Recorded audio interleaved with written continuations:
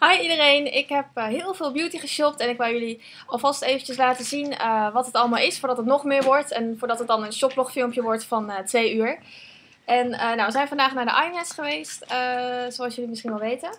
En wat ik heel, ja, heel graag wilde kopen waren brushes van Crown Brushes. En ik heb er best wel veel gekocht. Het zijn er, het zijn er 14. En ze gingen vanaf 2 pond per stuk tot ja, misschien dat het duurste, het waren wel echt hele grote kwasten, waren misschien denk ik 15 of 16. Het waren dan echt de allerduurste.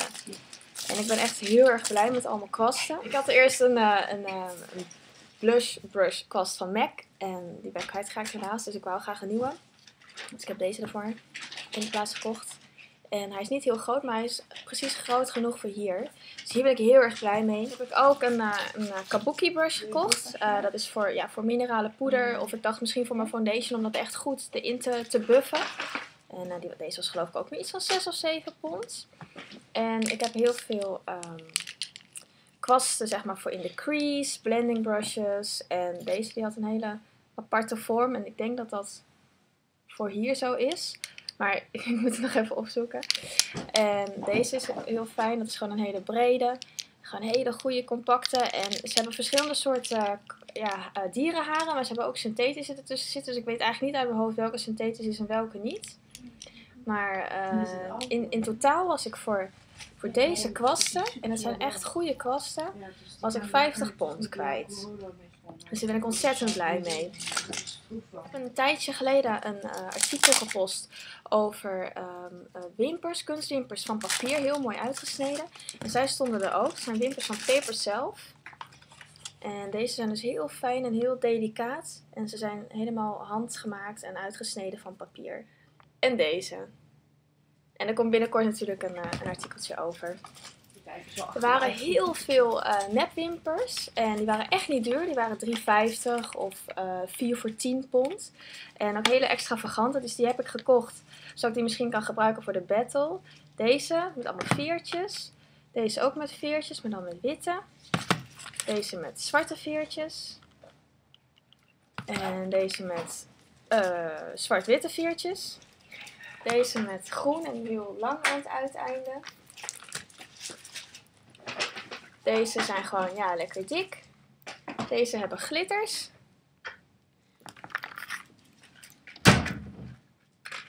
En dit is een soort zilveren, zilveren stofje. Dus in totaal acht paar kunstwimpers. Zo, um, ik zag uh, van Crioland zag ik heel veel mooie ja, soort smink, verf, make-up. Iets ja, waar, ja, waarmee je wel echt meer wat artistiekere dingen kan maken. Um, en dat wou ik eigenlijk heel graag hebben, alleen ja, dat was wel vrij duur. En toen zag ik dit palet van Make Up Forever. Had een beetje dezelfde kleuren, ja, een beetje dezelfde soort kleuren. Alleen deze was, omdat we 35% korting kregen op Make Up Forever, kwam deze op, uh, op 40 pond. Wat alsnog niet weinig is, maar op zich heb je daar wel veel kleuren mee. Voor, zo. En het pigment is heel intens. Ik zal even een paar swatchen.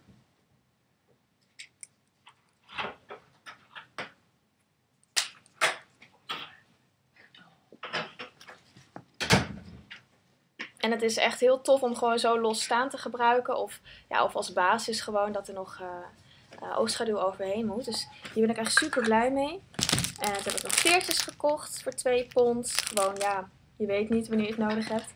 En een, uh, een, een nieuw pincet. En die had een heel leuk motiefje met, um, ja, met sterretjes. Want mijn teaserman die ben ik kwijtgeraakt. Ik raak al mijn goede dingen raak ik kwijt. Ik weet ook niet waarom. We kregen vandaag ook 35% korting op MAC. En toen heb ik deze Mixing Medium gekocht. Dat is geen vloeistof, maar dat is een uh, gel. En dat kan je mengen met pigment. Ik vind het heel moeilijk om met pigmenten uh, ja, om daar een look mee te maken. Omdat ja, het is poeder, het gaat alle kanten op. Dus ik dacht, nou, misschien als ik het dan eerst mix met deze gel, dat ik het daarna als een soort van creamy eyeshadow kan aanbrengen. En als het eenmaal droog is, dan blijft het ook gewoon op zijn plek zitten. Dus dit ga ik thuis even uittesten voor jullie. Er komt nog een review over, dus dan laat ik jullie weten hoe, uh, hoe dit bevalt. Van het merk Paris Berlin, waar ik ook een aantal kunstwimpers van heb, heb ik glitters gekocht. Dus dit zijn, uh, dit is goud rood, donkergrijs. Dit is de kleur van Rosie Lee nagelak van Butter Londen. Dus die vond ik zelf erg mooi. Het is een soort oud roze en paars. En de potjes kosten 2 pond per stuk of 5 voor, uh, voor een tientje. Deze heb ik gekocht. Hierop kan ik dan uh, dingetjes mengen. En ik heb ook deze gekocht. Er zitten echt uh, deukjes in. En dan kan ik dan ook ja, pigmenten inmengen. Of bijvoorbeeld doorzichtige lipgloss met een pigment. Zodat ik dan een gekleurde lipgloss kan maken. En dat kan je ook weer heel makkelijk afnemen en wassen. Dus dat vond ik zelf echt super handig om te hebben. Ik weet niet of je het kan zien, maar ik heb glitter op mijn oog. En um, ik vind het zelf erg mooi. Het is aangebracht met, uh, met nou, dit wordt liquid sugar genoemd. Dat is een soort mixing medium, maar er zitten net iets andere ingrediënten in, heb ik het idee. En er was een vrouw en die deed dat bij mij op. Ze dipte de, de kwastje best wel diep in de vloeistof. Het was best wel nat, zeg maar, kwastje. Dat streek ze een beetje af. Heel klein beetje glitter had ze nodig. En dan maakte ze een super mooi lijntje bij mij. Toen dacht ik, wow, dat, dat moet ik ook hebben. Dus dan heb ik meteen uh, een kit gekocht. Mixing medium met uh, vier van deze glitterkleurtjes. Uh, kostte 30 pond. Dus het is niet dat je zegt van, oh, dat is goedkoop. Maar ze zei dat je er 4 tot 500 keer eyeliner lijntjes mee kon zetten. Dus dacht ik, nou ja, dan valt het wel weer mee. Maar goed, dat is natuurlijk een verkooptruc, maar daar trap ik altijd in. Um, dit is een soort ja, goud-zilver kleur. Dit is de best verkochte kleur, is een soort donkergrijs. Dit is ook weer zo'n mooie ja, Lee kleur, een soort ja, oud roze. Die, die heb ik nu momenteel ook op. En die staat ook heel mooi met, met bruine, bruine kleuren. En uh, dit is een soort uh, champagne kleur. Ik weet niet of je het goed kan zien, maar erg mooi. iCandy.com. Echt heel mooi. Moet je maar eens kijken op de website. Dus zoals jullie weten ben ik, uh, ja, ben ik groot fan van beautyboeken. Ik heb die van Kevin O'Quinn en ik heb Asian Faces. En daar heb ik er ook een nieuwe bij gekocht. En dit was een speciale beursaanbieding, was maar 15 pond. En het boek heet Make-up is Art. Het is een ontzettend mooi boek. Ik zal even een mooie laten zien aan jullie. Dit zijn echt van die looks, die, uh, ja, die echt van die haute couture looks.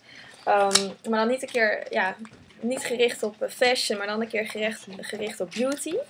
En um, kijk, deze.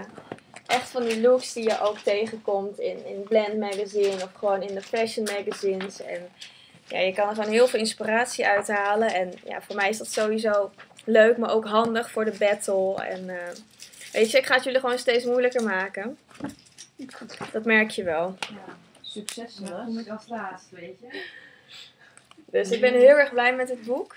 15 pond. Ik niet. En ik vind het nu al het geld waard. Je hebt ook het boek. en, um, ja, wat is het? Dus ja, uh, Academy of Freelance Makeup. En een gratis tasje erbij. Van de Academy of Freelance Makeup. Oh, Bij de Superdrug heb ik deze producten gekocht van Aussie. Zijn heel erg lekker, ruiken heel erg lekker en zijn echt heel erg voedend voor je oh. haar. Dit is een 3 uh, Minute Miracle Mask. Dat doet echt wonderen, gewoon voor hele droge punten. En dit is een conditioner. Dus ja, ik ben er heel erg tevreden over. Ik heb het wel eens gehad en nu waren het uh, 2 voor 6 pond. Dus dat was wel een goede deal. En in Nederland kan je het niet kopen. Ik heb voor jullie ook nog bij Superdrug um, had wat kleine dingetjes gekocht voor, uh, voor een winactie, maar dat blijft nog even een verrassing. Bij de Topshop heb ik uh, eigenlijk alleen maar lipproducten gekocht, want de rest van de producten vielen een beetje tegen, de, de oogproducten en zo. Dit is een lipgloss, glaze. En hij schittert zoveel dat je kan bijna de kleur niet zien. Zo, zoveel glitter zit erin. Hij lijkt bijna gewoon op een dazzleglass. Deze is echt ontzettend mooi. Ik heb een lippenstift gekocht in de kleur Brighton Rock. En het is een hele mooie um, ja, roze, maar ook ergens een beetje koraalachtig. En um, hij is echt minder fel als dat ik nu op de camera zie. Maar het pigment is ook uh, is erg goed. Ik heb nog drie uh, potjes polish gekocht. Het is niet echt een lippenbalsem, maar het is eerder een soort uh, gesmolten lippenstift in een potje. En die vond ik ook heel erg mooi. En de pigmentatie was best wel goed. Ik zal het even laten zien. Zo. Oh, die is Dus dat, uh, en er zit ook nog een klein spiegeltje aan de binnenkant. Heel schattig. Dus hier ben ik ook erg blij mee. En de producten van Topshop zijn niet heel goedkoop, maar ook niet heel erg duur. Maar gemiddeld zo tussen de... De prijzen zijn een beetje vergelijkbaar met die van Gosh. Um, het PR-meisje van Elon Musk die had nog een, een tasje voor mij achtergelaten. Ehm, met, met mijn naam erop. Want ze kon er zelf niet zijn, want ze is er pas morgen. Maar ja, dan zijn wij er weer niet. Dus ze had uh, wat achtergelaten van de nieuwe collectie van Trop. Een, uh, een lipgloss, een eh, hele rode, die ook heel erg uh, gepigmenteerd is. En twee nagellakjes. Een pikzwarte. En een soort off-white, bijna haast lichtgeel lakje. Dus daar ga ik ook nog een review over schrijven. Dus dat komt er ook aan. En ik vroeg jullie laatst uh, bij mijn artikel over uh, hoe ik zeg maar, mijn basis make-up aanbreng. Dus die van uh, Bobbi Brown en MAC en um, de, de Beauty Balm. Vroeg ik van, goh, weten jullie een goed budgetmerk? En toen raden jullie me allemaal die van Revlon aan. En die verkopen ze hier gelukkig gewoon bij de Superdrug. Dus die heb ik natuurlijk gekocht. Want ja, ik vertrouw op jullie oordeel. En uh, het is de kleur Natural 10. En ik heb de foundation vandaag op en ik ben er super tevreden over. Deze is voor de combination oily skin. En ja, dat heb ik. En hij bestaat ook voor de normale tot droge huid. Dus hij is er voor verschillende huidtypen. Dus dat is al ja, super natuurlijk. En ja, dit, is gewoon mijn kleur. En ik, ik, krijg er geen gekke droge velletjes van. Ik hoef niet te glimmen of zo. Hij bevalt eigenlijk prima en bijna net zo goed als die van MAC Bobby. Terwijl deze kost 40 en 28.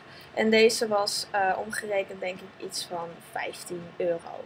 Dus ik ben heel blij dat ik nu ook een, een budgetmerk uh, foundation heb gevonden. Want ik dacht, ja, moet toch goedkoper kunnen? Dat kan toch haast niet anders? Nou, uh, dit was het. allemaal. Het, dit waren allemaal beauty aankoopjes van gisteren um, bij, de, um, bij de Superdrug. En van vandaag bij de iMats. En ik heb ook nog wel wat kleding gekocht. Maar ja, we gaan nog meer shoppen. Dus dan doe ik ook nog een aparte uh, kledingshoplog. Dat komt er ook nog aan. Dus ik hoop dat jullie het leuk vonden om te zien. En uh, ik zie jullie snel weer in Nederland. Doeg!